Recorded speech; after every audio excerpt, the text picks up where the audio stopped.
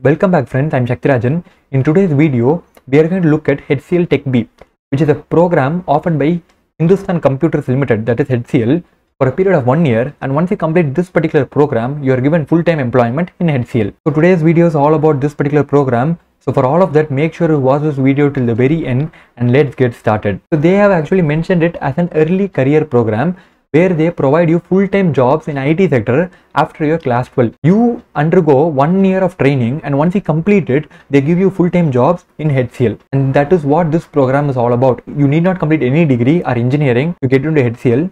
The only thing you need to do is to complete this particular one year program and once you complete this they give you full-time employment in HCL. Let us see the eligibility for this particular program. The right hand side I have given you the minimum qualifying class 12 marks across the boards. This is actually posted in their official website and the link for their official website is in my description. So make sure you visit that particular website. An important point to note in your eligibility is that you must have studied math or business math in your curriculum. So in case if you look at Andhra Pradesh or else National Institute of Open Schooling, NIOS is actually National Institute of Open Schooling, Tamil Nadu, Telangana, they require a minimum qualifying marks of 75%. For CBSE, ISC, Orissa, Karnataka, they ask you around 70%. And for remaining two things, they ask around 65 and 60%. So you can refer this particular graph to ensure whether you are eligible to apply for this particular course. So moving forward, let us look at the selection process for this course. So the selection process consists of four steps. The first step is actually registration. Registration is done through their official website. The link is in my description. Make sure you check that out. The second step is through HCL CAT test. They conduct an entrance examination and the third one is again through Versant test. It is actually a higher level of entrance examination. And the fourth one is through interview. Finally, you need to attend an interview. It will be like a formal meeting where you attend and they check your communication skills, etc. and much more. And once you complete all those four stages, you are eligible to enter into their Tech B program. And this is actually a set of instruction given in their official website. So they have mentioned that you need to have studied mathematics or business math and you must have cleared it with 60 percentage mark. And the second point to note is that you must be Indian residents. Thirdly, in case you have two mark sheets, for example, due to some reason you become absent your board examinations and you are not able to attend that particular exam and you write it later and get a mark sheet for that particular subject and you in case you have two mark sheets it doesn't matter even if you have failed in a subject and later written another examination to pass it again they consider only your latest course they don't consider your previous course. You have attended that particular examination twice the second mark is pretty good they consider only the second mark they don't consider the first grade whichever you have obtained the fourth point is that if you have secured 80% and above in JEE mains or IIT JEE, you can directly appear for the Versant test. As mentioned earlier, I have said there are four levels of selection process in which you can skip the first two, you can directly go to the third step. You can directly go to the Versant test and after you complete it, you can directly get to the interview.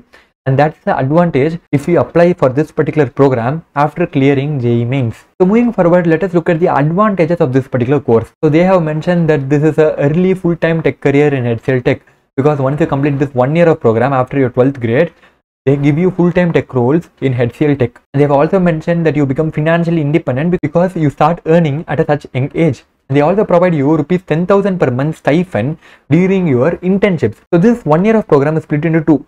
Six months is of classroom program where you learn all those things that is relevant to software career and the IT roles, which is more or less theoretic. The next remaining six months is through like internships. You do internships in their particular company, and for that period, they give you 10,000 rupees a month stipend. They also make you eligible to pursue your higher studies, that is, work integrated programs in BITS Pilani, SASTRA University, and IIM Nagpur. And there are much more universities to which they have collaborations with such as Amity University, etc. So next we come into the most important part, what is the salary? So they offer programs that is relevant to two roles. One is IT roles and second is digital process support. In case you enroll into the IT roles, the program fee is around 1.1 lakhs per annum. That is for that one year of training, you pay a program fee of 1.1 lakhs per annum.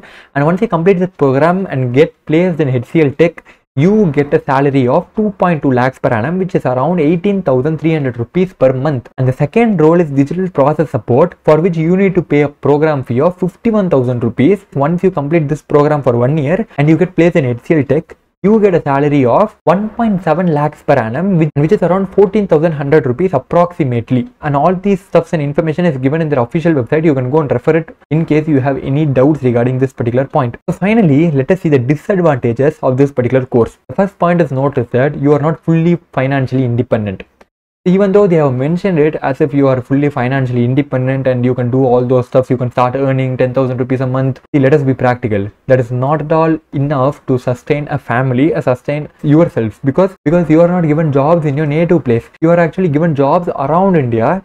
You can't predict where you get jobs. So the expense which you need to handle will be way more than what they actually provide to you. The second point to note is that you don't experience anything like college life. The one year of program consists of six months of classroom training but even though once you complete it you get into a professional career and you don't still remain in a normal college career. And now you become employees of HCL Tech. So you become more responsible for your own job. The third thing to note is that you cannot do any further course study which means in case you're interested in mathematics and you want to study more in mathematics you can never do it. You can never go back in path once you entered this particular program. Because once you complete program you get placed in HCL Tech and you need to work for that particular company.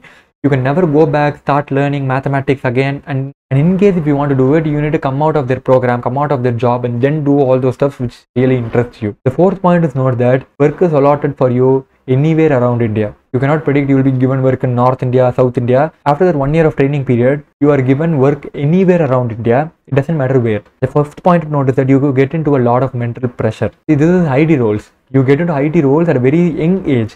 Normally, students when they get into it, uh, they might be around 22, 21 years. Once they complete their BTech or BSc, might be 20 years but you get inside these IT roles at 80 90 years which is around 2 to 3 years earlier than a conventional student which means you might expect that you become more experienced than those fellows but that is not the case. An engineering degree holder is given more value than this particular program degree holder. So if you want to get into this particular course, you must think a lot before getting into this because in case if you are like extremely interested in computer related stuffs and IT roles, only then you should prefer this particular program in case you don't have interest. And for the sake of something you get into this particular course, it will be very difficult for you. And that's the reality. If you ask me personally, I would tell HCL is actually a service based company. It is not a product based company. Service in the sense it provides a service and consulting services to other big big multinational companies. So I have already posted a video regarding the Zoho schools of learning and I will provide the link in my description to that particular video. You can go and watch that particular course which is a two year program and once you complete that course you are given full time jobs in Zoho Corporation and I prefer compared to this course that is quite better than this. But the final decision is yours because you are going to decide what your future is going to be. So make wise decision and that's it for today guys. Like this video ensure you hit the like button. And also for more interesting videos like this make sure you subscribe to my channel and also hit the bell icon because only then my videos will be notified to you. We'll see in the next video. Sakthi Rajan bye